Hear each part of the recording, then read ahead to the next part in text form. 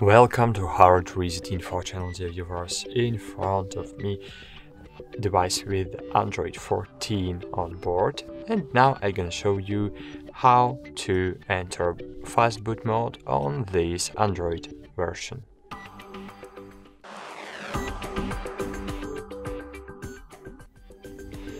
So, firstly, you need to press and hold power button, then choose power off to disable your device.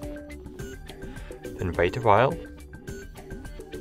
and press together power button and volume down. Great! Now we have opened the Fastboot mode. To scroll down, you need to use volume down button and to uh, to choose something, you need to use power button. That's it. Thanks for watching, like this video, subscribe to our channel, and bye. See you.